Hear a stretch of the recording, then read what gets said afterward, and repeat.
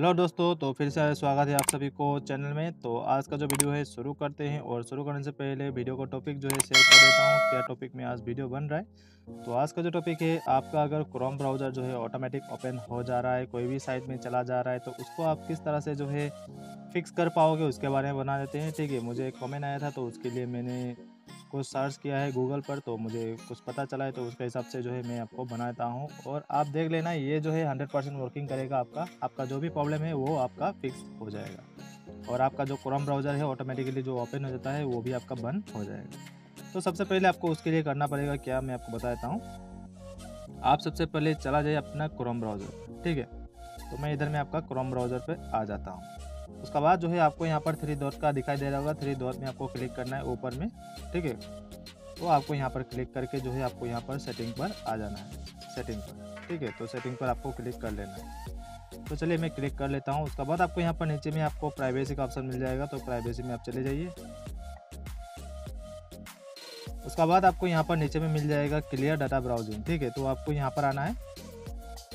और यहाँ पर जो है आपको एडवांस में आना है, ठीक है? एडवांस में आना है तो यहाँ पर देखिए बेसिक में है और ये एडवांस में है।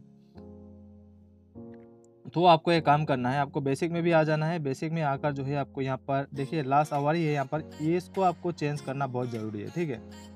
इसको आपको चेंज करना बहुत ज़रूरी है। तो लास्ट आवर है तो आप इसको क्लिक करके जो है ऑल टाइम कर लीजिएगा, ठीक है? ऑल टाइम कर लीजिएगा। उसके बाद आपको एडवांस में आ जाना है फिर से। तो एडवांस में भी आपको क्लिक करना है, ठीक है? तो पहले जो है, आप इसका जो है क्लियर डाटा कर लेना। यहाँ पर नीचे पर क्लियर डाटा है तो इसको आपको क्लियर डाटा कर देना है। पहले बेसिक का कर लीजिए, उसके बाद आप एडवांस में चले जाइए। उसके बाद एडवांस में आप क्लिक कर लीजिए। तो यहाँ पर जो है आपको browser history cookies and site data and cache image file तो इन तीनों को जो है आपको टिक करके रखना है, जिस तरह से यहाँ पर टिक किया हुआ है। अगर आपका है तो ठीक है, अगर नहीं है तो आप टिक कर लीजिएगा इसको।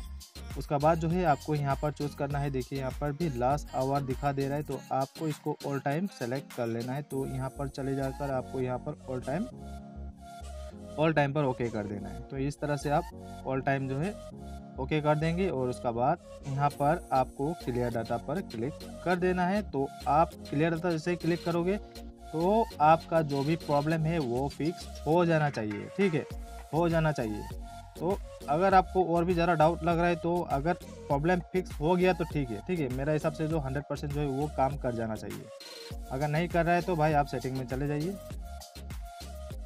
और उसका बाद जो है आपको यहाँ पर ऐप्स में आना है, ठीक है? अपना ऐप्स का जो है ऐप्स में चले जाना है। उसका बाद यहाँ पर आपको ओके क्रोम पर चला जाना है, अपना क्रोम पर। और यहाँ पर आपको स्टोरेज पर चला जाना है। स्टोरेज पर चला जाने के बाद आप जो है क्लियर कैचे और क्लियर डाटा स्टोरेज आप इन दोनों को भी क्लियर कर दीजिएगा। मेरे हिसाब से ये नहीं करने से भी हो जाएगा। आप सिर्फ़ जो मैंने पहले बताया था उसको कर लीजिए, आपका जो प्रॉब्लम है वो फिक्स हो जाएगा। तो वीडियो अच्छा लगा तो वीडियो को ज़रूर लाइक, शेयर कर देना। किसी को भी प्रॉब्लम है तो शेयर ज़रूर कर देना वीडियो को। और वीडियो अच्छा लगा तो प्लीज़ लाइक शेयर तो भूलना नहीं है। साथ ही साथ आपको चैनल को सब्सक्राइब भी कर देना है, ताकि इसी तरह का वीडियो आपको आगे भी मिलता रहे। तो आशा करता हूँ वीडियो आपको अच्छा लगा होगा। वीडियो अच्छा लगा तो वीडियो को ज़रूर लाइक शेयर और सब्सक्राइब कर देना। तो आज के लिए इतना ही है। बहुत बहुत शुक्रिया वीडियो बनाने के लिए। Thank you